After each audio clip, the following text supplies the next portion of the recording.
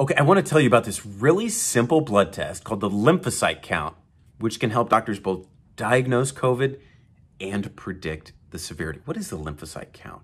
It's part of a CBC, very common blood test, complete blood count, where we get white blood cells, which fight infection, you know that. Red blood cells carry oxygen to tissues, and if it's low in a CBC, that would mean anemia, so you check that blood count. We also check for platelets. Lymphocytes are part of the white blood cells. They're one of five kinds of white blood cells like neutrophils, basophils, lymphocytes. They're commonly found in lymph tissues. That's why they're called lymphocytes. And they include things like T cells and B cells. You've heard of those, right? Well, with COVID, these lymphocytes, the level is low. Most of the time, I never check that. It doesn't give me a lot of information. I don't really look at that very often in figuring out what somebody's got. But with COVID, when I was in New York in the surge, everybody had it. Coming back to California, I would observe this and I would see, oh, lymphocytes low. That's interesting. I wasn't thinking about COVID in this patient.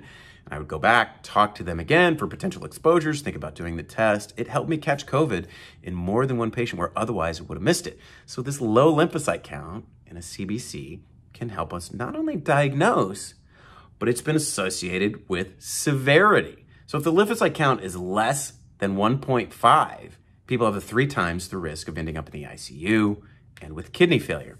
An article in the journal Nature also showed that the low lymphocyte counts is one of the most consistent predictors of diagnosis, severity, and even death.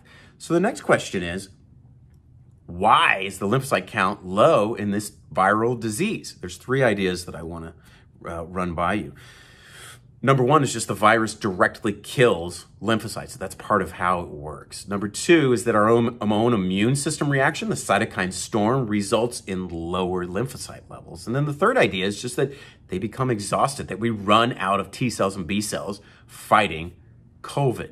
Whatever the reason, I think this is really interesting scientific stuff to geek out on because not only can it help us with diagnosis and prognosis as we learn about COVID, but we could potentially use therapies to target it, to prevent it, and to treat it. And that this, this knowledge, this science could result in saving lives. That's just really cool stuff. Love it.